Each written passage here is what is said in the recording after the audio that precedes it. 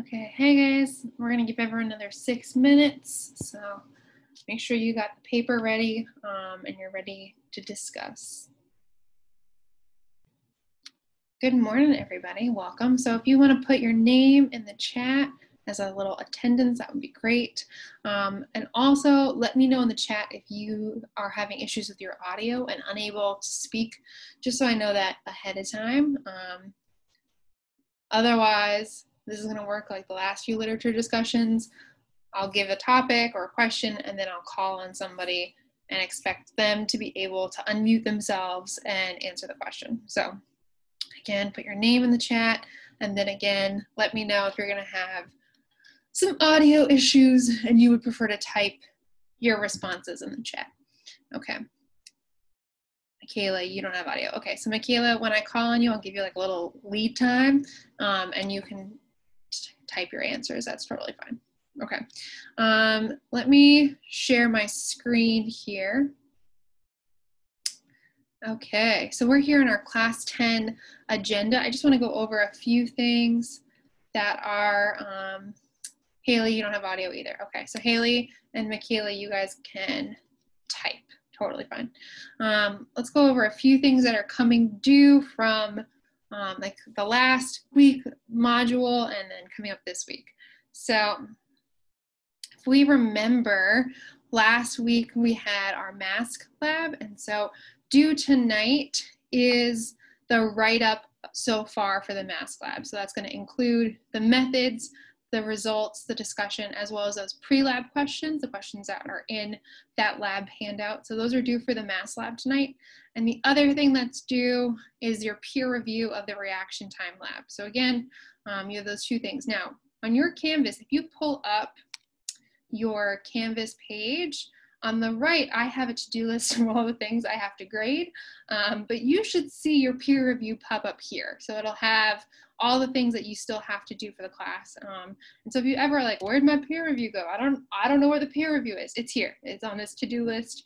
Um, you'll also get a notification and depending on how you have your notification set up, it might be like a push notification on your phone or it might be an email. It just depends on what you've made your settings for notifications on Canvas. But either way, you'll have it here on your to-do list. Now, if your to-do list is long, it only shows you the first few things. And so you might have to hit the X um, and like X out of some other to-dos in order to see that to-do, um, but it will be here. Okay, so keep in mind, we've got that mask lab and the peer review, and then eventually you will have to peer review the mask lab. Now, this week, we're working on our last literature discussion, and then you'll write up the summary and analysis for that. And then your at-home assignments are to learn about introductions and abstracts, and then write up a draft of both of those lab reports. Um, you should have received an email from me last week with your peer who you are assigned to um, to give feedback for your lab reports. And so next week in our class time, so next Wednesday, I'll put you guys into breakout rooms. And what you're gonna do is give someone feedback on their drafts. And so before next Wednesday, you'll need to email the reports to the person or people that I assigned you with that email, um, giving them the drafts of your reports. Um, read them before coming to class, and then in class, you'll be able to provide some feedback um, based on that. Okay. So let's get started then. Again, we're in our class 10 agenda. Um, so if you guys want to take the class 10 attendance quiz and then give me on a scale, let me make sure it's open because yeah, it is, okay. and give me on a scale of one to 10 what you think of the paper that we had to read. Uh, one being garbage, 10 being the best thing I've ever read. Um, and when you do that, I'm gonna stop sharing briefly. So give me on a scale of one to 10, what, what you think. And I'm also gonna open up a poll. Um, and so then after you do the quiz, then answer the poll and tell me what you think and we'll get a little um, gauge of what where the class is. So again, class 10 attendance quiz, 1 to 10, what do you think? And then do a little anonymous poll here. What do you think of the paper? Great. Okay.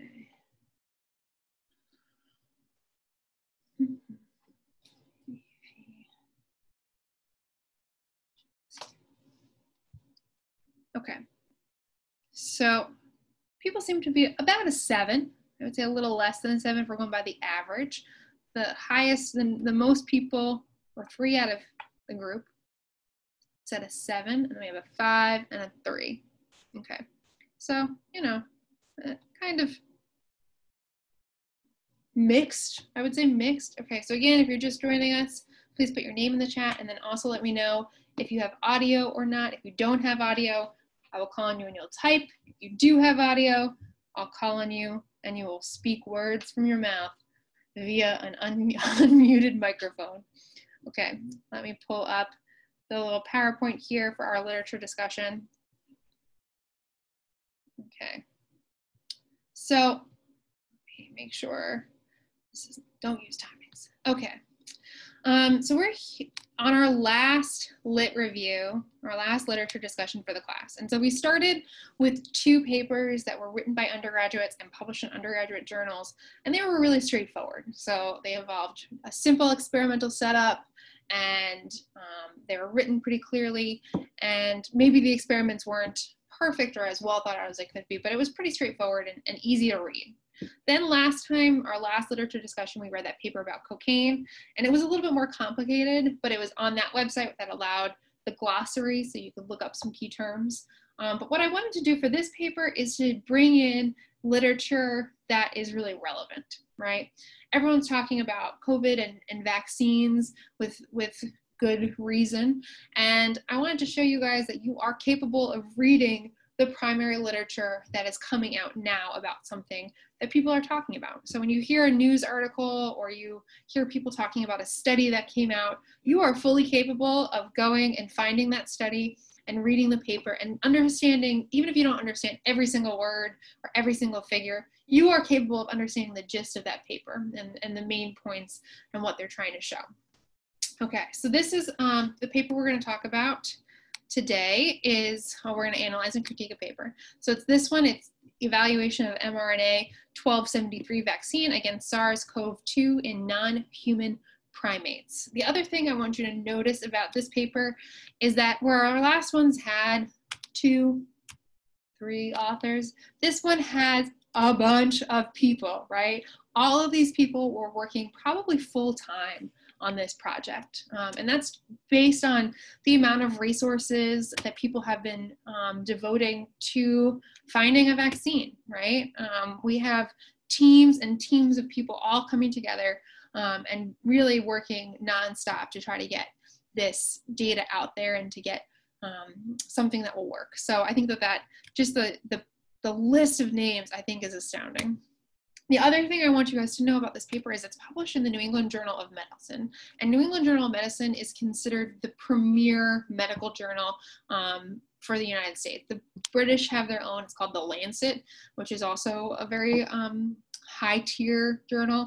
But New England Journal of Medicine is like the gold standard for medical research. So the things that they publish, you can be rest assured that they've been looked at by some of the, the top experts in the world and so it, you can really feel pretty comfortable when you read something that's published here. Okay, so I'm gonna get, go over a few key concepts that the um, paper talks about and then we'll dive into it. So this is talking about obviously COVID-19 and they're trying to create a vaccine and there are multiple different types of vaccines that um, different groups are trying. I think it's really great that everyone is trying all sorts of different approaches. Um, and this one is an mRNA vaccine. So it's it is easy to make. It's easy to synthesize because it's just um, a short oligonucleotide sequence. Um, and what they're doing is they're going to be measuring the immune response to the vaccine. And so ideally when you give someone a vaccine, they're going to mount a measurable immune response, but they won't have an over response of the immune system, right? So the immune system is something that it, it can be hard to keep in balance. So you want to have a response, but not an over response. So we're going to talk about antibodies. And then the last thing to, use, to note is when they say non-human primate model, maybe monkeys. Um, it's a fun way of saying it in the science field is non-human primate. Um, but they mean monkeys. And the macaque monkeys that they use are smaller. They're um, easier to store is, is probably not the best way to phrase it, but it's true. They're, they're smaller monkeys. Um, and so they did have to use monkeys in this study. Statistics that they use, they talk about a few. So they did a Mann-Whitney test, and they started by comparing a high dose to the control, and then if that was significant, they went down to the lower dose to the control, and then a Kruskal-Wallis test, which measures correlation. So are these two variables um, related to each other or not? Okay, so let's talk about the introduction. Um, let's see, who do we who do we have on the chat? Here we go. Okay, Christina, do you want to tell us about just their introduction, um, what kind of background information they provided? Okay. Um. Yes, they talked about uh, first how like why vaccines are needed for COVID nineteen, and what are needed uh, to work against the proteins that are found in the vaccine, and they gave examples. Mm-hmm. Um, okay. What was their What was the goal of their study? To find a vaccination for COVID. Yeah. Exactly. Exactly. Okay. Um, Haley, in the chat, do you want to type out why they were using monkeys. What was the rationale for using monkeys? And while um, Haley does that, Ify, do you want to tell us about some of their methods that they're using?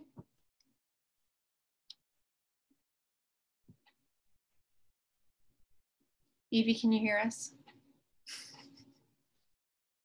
Okay, we're, we'll, we'll come back to you. I'll assume you need to type things. Kristen, can you tell us about some of their methods? Um, I'm trying to think of them. Uh, they synthesize, they sequence, optimize mRNA encoding prefusion. Mm-hmm. So they made uh, the RNA against the, the spike protein, right? Yeah in Beecher. Yeah.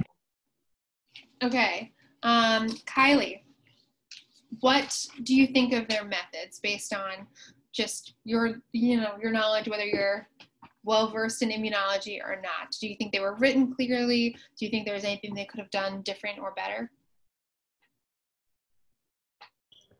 Um, they i know uh, they like tested before and after which is obviously like they have to do that to determine it but i'm not well versed in immunology but from what i saw it looked like they had pretty good methods mm-hmm. to determine like the outcome of their tests yeah yeah and we'll talk about it as we work through so they um, detailed a lot of different methods um, and again it's hard to understand all of the nitty gritty details unless you're in the field. I totally get that. Okay. So the methods that they talked about, they talked about the mRNA production, right? So they made this um, sequence optimized mRNA that was against that spike protein, and then they purified it. So they were dealing with just the mRNA, and they put it in a lipid nanoparticle because you want things to get through cells. And um, membranes need that lipid in order to take in any sort of mRNA. They used the macaque monkeys, um, and again, they had 12 of each, females and males in a small age range, and they sorted them by sex, age, and weight. And so what they're going to do is they're going to give them the vaccine at either a high dose, a low dose, or PBS. And PBS is just um, a science way of saying saline solution. So that's their negative control. They don't expect to see any benefit from saline. Okay. And then the experiments that they did, they quantified the amount of viral RNA um, using PCR, which is the method. If you were to go and get um, a nasal swab, that's what they would do as well. Um, let's see, primates were outbred and more similar to humans in the immune response. Exactly, Haley. So why did they use monkeys? They're more similar to humans. A lot of times in experiments, um, the animal model most researchers choose is mice. The reason they didn't choose mice here is because, like Haley said, um, the immune response for primates is very similar to humans, um, but for mice, their immune system is actually very different. So it's really hard to test any sort of vaccine that requires an immune response in mice. You kind of have to go all the way up to monkeys, unfortunately. Okay, so they also did some histopathology of some lungs. So they took a few of the subjects and they sacrificed them and they removed lung tissue and then they looked to see was there COVID infection in their lungs. They also compared different antibodies with ELISAs, which measure the amount of antibodies, and they did some cytokine staining, which will tell us about the immune response. Okay, awesome. So let's talk about the results. So um, Michaela, you can start typing what you think about um, figure one, part C and D. And Raquel, do you want to tell us about parts A and B, what, what this part shows?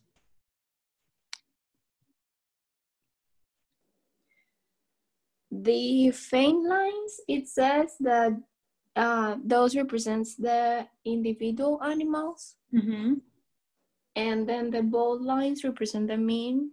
Exactly. And from figure A, what do you notice about the mean response for a 100 microgram vaccine versus the 10 microgram vaccine? It's higher. Yeah, so what they call this, this is called a dose response, where you see the higher dose has a higher response. And that's good. That's showing that your vaccine is doing something so that if you give more vaccine, you're getting more response. So that is um, considered a, a good thing for their virus here, or sorry, for their vaccine. And what they're measuring is serum response. So they're measuring the antibody production in response to the vaccine. And what are they measuring in B, Raquel?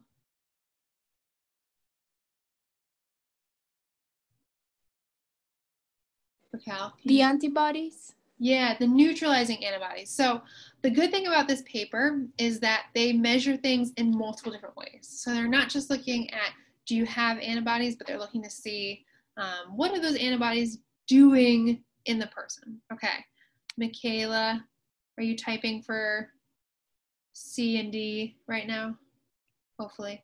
So while you do that, I'm going to talk about E and F a little bit. So um, E and F, E they're looking at that ACE2 binding. So they found that good vaccines will target this certain viral receptor. And so if we look on the y-axis, they're measuring the reduction in that, that binding to this receptor, this viral receptor. And then in gray here, we've got the saline control. So they have no binding to the receptor, which makes sense. The 10 micrograms of the low dose vaccine has some binding. Then the high dose vaccine has even more. So again, we're seeing a dose response here, which is which is um, important, showing that their vaccine is working.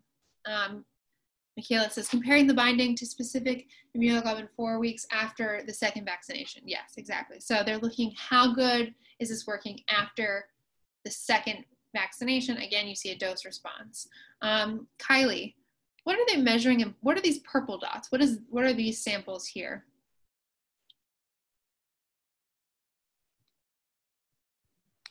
Are they the like effectiveness? So like it says com- it says like conversion. So these are the convalescent serum samples. So these are the people who got COVID and recovered, and we're measuring the antibodies in their blood. And so we're seeing. Okay, that's what I was trying to say that they're the ones that had it and recovered. That's what yeah. I was trying. Yeah, I get it. I get it. It's you know, science is full of jargon, like we've talked about. So I it's it's a lot of words. Yeah. So these are the convalescent serums. So these are the people who got COVID and recovered, and you could see that there's like a wide spread here, right? So they have way different amounts of antibodies. Some of them are, are working still, they're neutralizing antibodies. Some of them are to this receptor protein, and some of them are neutralizing live virus. So, again, they're testing all of these panels together, are showing that the vaccine is able to induce the expression of antibodies, but they show them in multiple different ways, which is again kind of a strength of the paper that they're testing their hypothesis from multiple angles as opposed to just doing one experiment and, and being done with it. Um, okay, so let's talk about figure two. I will explain a little bit because again, it's a, little, it's a little tricky. So what they want is to induce an immune response in the monkeys, but not have an over response to the immune system. So they found in some patients, for example, um, if they have an over response to the immune system, that can also be detrimental. And so what they're looking for in figure A are these T cells that show a good immune response. And they see again, um, the 10, the low dose has some um, of these cells. There's none in the control treated and the high dose has more. The same sort of figure, the same sort of information you're gonna get from C and D. Again, you're seeing the immune response with the production of cytokines and interleukins. Um, this is considered a benefit, that they're having a beneficial immune response. What they measured in B was really interesting. So this is where if they have Th2 response with these specific kind of T cells, this would indicate an over response of the immune system. And so what they're showing is that their monkeys are mounting an immune response um, against this spike protein, but they're not having an over response of the immune system. Okay. Kristen, do you want to tell us about 3A and B? Like what experiment did they do um, to test their virus against upper and lower respiratory infection?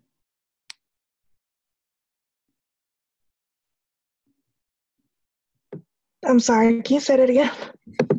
What was this? You want to tell us the experiment that they're showing here in figure three? Where it's talking about the different days they took um samples. hmm So what? So it talks about a challenge. What did they do to these monkeys after they gave them a vaccine? What is the challenge? Oh yeah, I was confused about that part. Confused with that part. Okay, so what they did is they vaccinated their monkeys and then they shoved COVID, pretty much like um, tubes with COVID on them, either into their um, trachea, into their lungs, or into their nasal passages. So they were trying to get them infected with virus. This is again a benefit to using monkeys as opposed to humans. You would never be able to do this with people. You would never be able to shove swabs of virus up their nose or down their lungs and like get them really sick. But we're working with monkeys, and so they were able to do that. So the A is showing with that lung challenge, and then measuring um, the lavage. So they washed their lungs a little bit, and they measured some of the um, viral replication, and they saw with saline. So people who, so monkeys were not given a vaccine, they were infected with COVID via their lungs um, at two days, at four days, some of them were still infected, and at seven days, most of them were not, were no longer infected. And if they were given a vaccine, it looks like they were mostly able to prevent that two day infection, except for one. And same with the high dose, right? So the vaccine was able to prevent this response that we see here at two days. With the nasal swab, they were able to infect these monkeys for longer, right? They were still sick two and four days. Um, and because it was a higher amount of infection, the vaccine doesn't seem to be as um, good at keeping down the, the infective rate. At 10 micrograms, 100 micrograms seems better. So only a few monkeys were still infected. Okay, um, so that's what the challenge is. Is they they purposely got them um, exposed to the virus and then measured how much virus they could detect. Okay, and so then in the last figure, what they did is they took lung samples and they measured viral RNA. So can they find COVID or viral proteins? Can they find COVID proteins in these lungs? Um, and let's see, Efi, you want to tell us about what they found in this figure?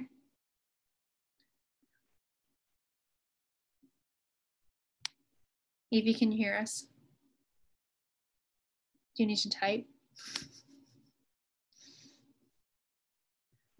Okay, Raquel, can you tell us about this figure?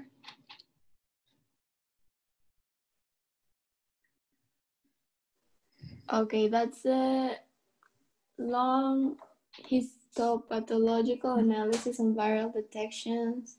Mm-hmm. Seven days after they uh, introduced the virus. Mm-hmm. And so, Eh. Which samples have detectable viral RNA?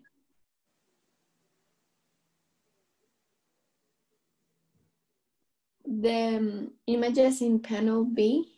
Yeah, so this is this is a zoom in, right? But the only ones that have this detectable, you can see here this like staining, right? This coloredness, these detectable viral RNA and antigens were the monkeys who got the saline vaccine. Okay. Um, if your audio is going in and out. Okay. Um, the ones that got the 10 microgram and the 100 microgram vaccine, they don't have any detectable viral RNA. So it seems, at least from the lung perspective, that the vaccine was able to protect, protect them seven days out, which is good. Um, okay, so Ify, if your audio, your audio isn't working, you want to type what what you thought of this this experiment, um, well, you thought it was a good experiment or not, and we'll come back to you. Michaela, you can also type at this time what you think of this experiment. And Haley, you can type a little bit about the discussion. Okay, so Ify and Michaela, type up your responses to what you think of this experiment. And Haley, type up what you think about the discussion um, as we finish up the paper here. Okay, so while we wait for our typed responses to come in, I'll ask people with sound. So, Kylie, what do you what do you think of the paper overall? I thought it was a good paper, especially because the um, vaccines that they did test were proven to be effective. In the monkeys, right? Mm-hmm. Awesome. Yes. Okay, so Kristen, what about you? What do you think of the paper? I liked it. I took immunology, so I could follow along somewhat, but um, I you know, he explained their concerns for the future of this vaccine too. Mm-hmm. Okay, Christina, what about you? What did you think of the paper? I liked it as well. I liked the approach that they took and how they broke everything down. Um, what experiment would you like for them to try next? Um, maybe, maybe the same experiments, but maybe they can go in depth with it more, mm-hmm. like testing like in the lungs. Maybe they can um test it for longer or. Okay, so see how far out this protection seems to last. Yeah, like if they come back with COVID mm-hmm. or to see something else. Yeah, that's a good idea. Raquel, what kind of experiments would you like to see them try next? I agree with her. They could try um, maybe with the same monkeys and another group with different new monkeys to see how if they react the same way mm-hmm. the uh, the ones that they already used reacted. Got it. So like newer vaccine versus an older vaccine. Mm-hmm see if it responds good. These are all great ideas. So um, what I wanted you to get from the Haley, the discussion was good. They did a good recap of all the major points. Good. Yeah. So New England Journal of Medicine puts a word restriction on the introduction, and so um, that's why the introduction was really really short. But they don't do as stringent of a word count on the discussion. And so when you ever read New England Journal of Medicine, you'll notice the discussion is is usually where they're able to go into a lot more depth just because they have like the word count for it, um, which is is nice. Um, okay, so I'm gonna stop sharing here. Well, we wait for our last few typers. Uh, I'm gonna relaunch the poll again. So now that we've talked about it, you guys can fill out the poll again and let me know what you think of the paper, scale of 1 to 10. Okay, votes coming in. Okay, so we still seem to put it on a seven, but maybe a slightly higher seven than before. Okay, so Ify says the paper was okay, I think they could try other animals to see how effective. That's a good idea. So maybe try maybe other primates or other animal models um, as opposed to just the rhesus monkeys. Okay. Awesome. I'm to end the poll here. Great. So um, seems to be about similar, about similar. I understand that this is a very technical paper, um, but again, I wanted to end on a paper that I felt like was really topical, was really relevant to show you that you are capable of reading and at least getting the gist, right? Maybe you didn't understand every single figure, every single method, but you understood basically what the paper was trying to say. Um, when you read a paper like this, like a full journal article, again, you want to start with the abstract and read through the abstract and see, is this interesting? Then what I normally do is I look at the figures and I see, can I understand without even reading the paper, what the figures are showing, and then I'll jump to the discussion and I'll try and get their main points, and then I'll go back and read the introduction, methods, and results. So that's just personally how I read a paper. Um, I usually skim through the methods and only pay attention to things like how many animals or people or subjects did they do and like generally what kind of methods, but I don't read the methods like super in depth, just as a, a personal preference here. Um, so again, in the future, you might see news articles, things on social media talking about a study. Studies show whatever. What I really want you guys to get in the habit of doing is, is trying to find that study and going back and reading it and seeing for yourself, like, do you agree with those conclusions? Because oftentimes the blurb that is sent out to the media is written by someone who maybe isn't a scientist, but is a journalist. And so maybe they don't understand all the nitty gritty of the paper, but you having a science background, um, probably more than the journalist person, because of the science classes that you've taken, might be able to understand it a little bit more. Okay, so let me go back to our Canvas page. So again, what I want you to work on now, um, what would be the remainder of our class time would be the discussion, that summary and analysis for this paper. Okay, so we're down here in week 10.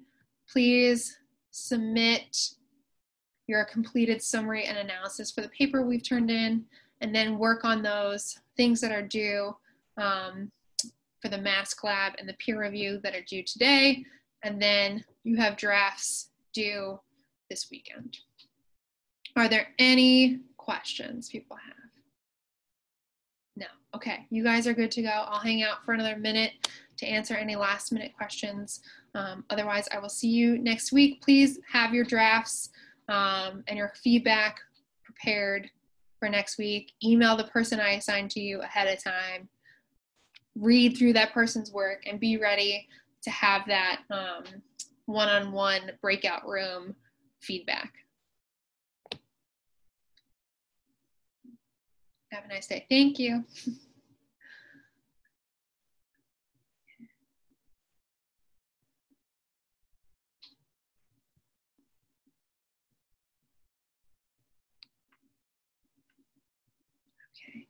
Haley and Michaela, you guys good?